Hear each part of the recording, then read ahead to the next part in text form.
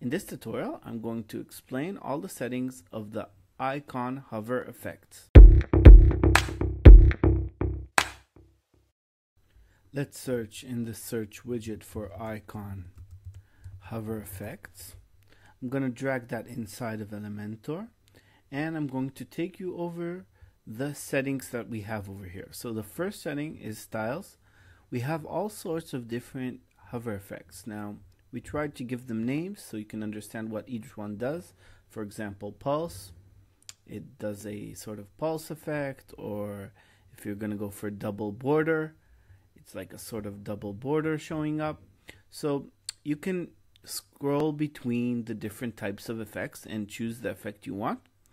We have an alignment setting, so you can align your icon to left, center, or right.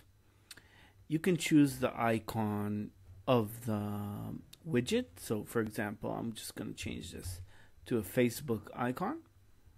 Perfect. And we can change the icon size and the circle size. So there's the inner icon and the outer icon. So let's change the inner one to 32, a bit smaller. And let's change the outer one to a bit bigger. Let's go for 120. Cool as you can see, the effect is uh, knows how to adapt to any size. You can determine the link. You can open in any link you want. And we have settings for background color, icon color, icon on hover, border color, and border on hover. So for example, the icon color can be black. And when you hover over it, it has a different color. So let's change it to blue. Also the border color I'm going to change to black. And when you hover over the border, I'm going to change that to blue. So check out how cool is that.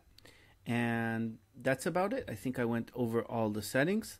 If you have any questions, please post them in the comments. If you have any suggestions, don't hesitate to contact me personally.